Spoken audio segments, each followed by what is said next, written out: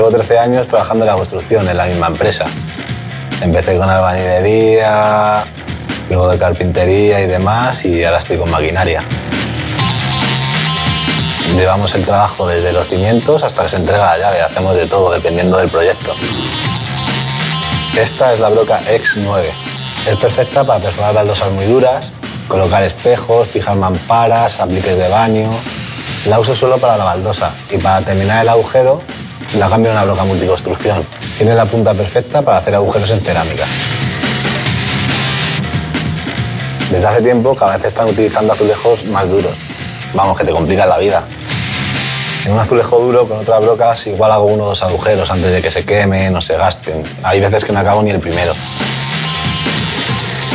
Pero esta puede con todo. No tengo que estar constantemente cambiando de broca.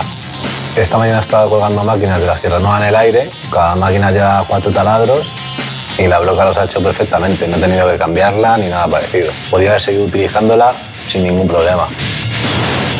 En las obras se mira hasta el último céntimo y con esta te ahorra muchísimo porque no tienes que estar cambiándola constantemente. Como es muy rápida, la broca se calienta menos, no se estropea, no tienes que estar perforando tanto tiempo. Esta me dura 10 veces más que la que usaba antes. El taladro sujeta muy bien la broca y esto hace que no se resbale en el portabrocas. El enganche hexagonal es una pasada. Es imprescindible para cualquier obra.